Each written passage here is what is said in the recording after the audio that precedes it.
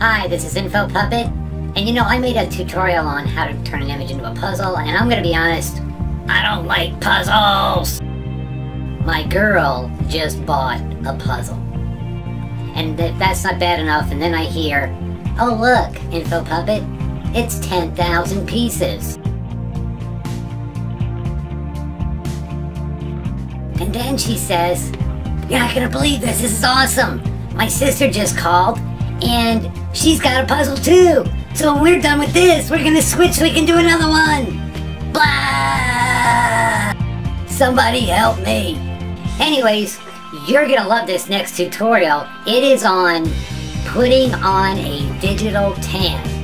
Check out my next Photoshop Elements tutorial.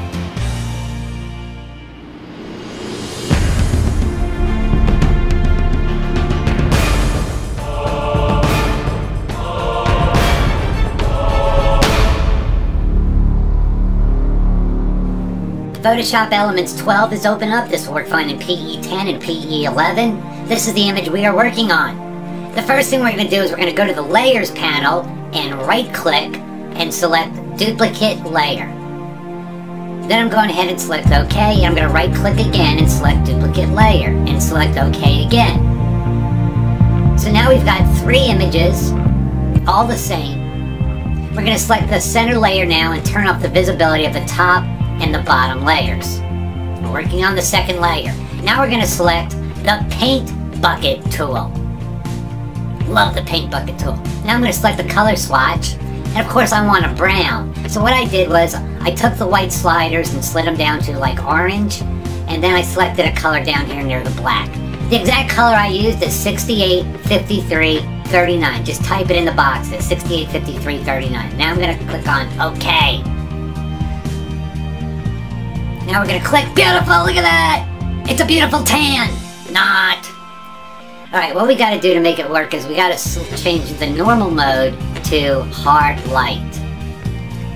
What do mean, what does this say? This layer is hidden, blah blah blah. Well, it's because I gotta select the center layer again. It had the first layer and that was hidden. There it is! That's what we want for right now. Okay. So what we've got right now, let's first of all make all the layers visible. On the top layer, we've got the regular image. The center image is basically, we use the paint bucket tool and change the mode to hard light. And then we've got a regular image on the bottom layer. Okay, right now we're going to select the quick selection tool.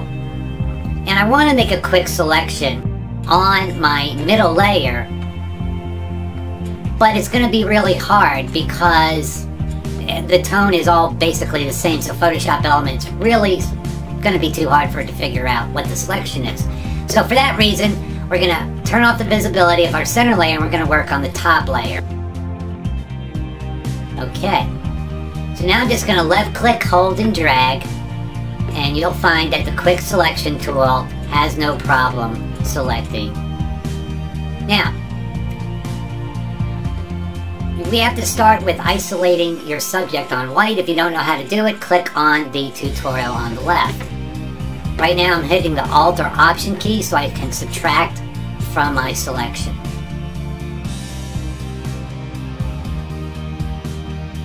Okay, that looks pretty good. I'll do a little bit of fine adjustments here on the arm.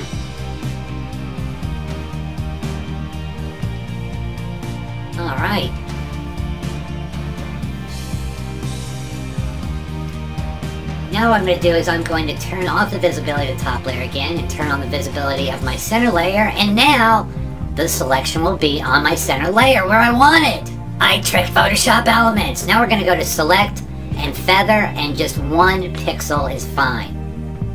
Now we're going to go back to select and select inverse and that selects everything but the girl. Now I'm just going to hit delete on my keyboard. Okay, now we're going to go to the toolbar and select the Magic Eraser tool. I want the tolerance all the way down to 6. I'm just going to get rid of the rest of the white background by left clicking and releasing. Okay. Now, we need to get rid of the bathing suit. Because what we're trying to achieve here is just to have the skin isolated without the background or the bathing suit. So now I've switched to the regular eraser tool and I'm just going to clean up a little bit around this area. This is actually in fast motion.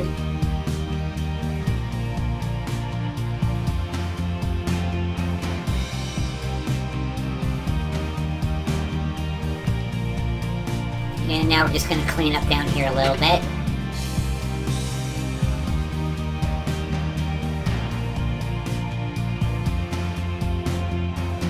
That looks pretty good. Okay, now we're just going to get rid of the teeth and the eyes. We don't want to give them a tan. She looks gorgeous!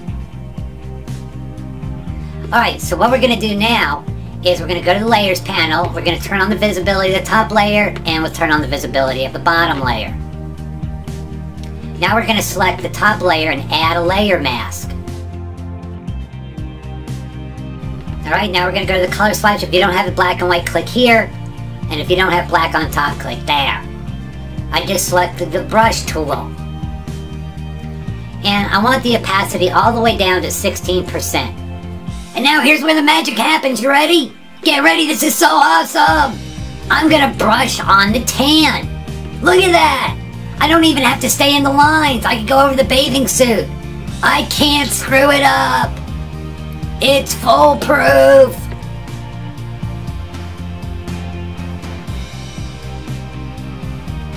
It's the perfect digital tan.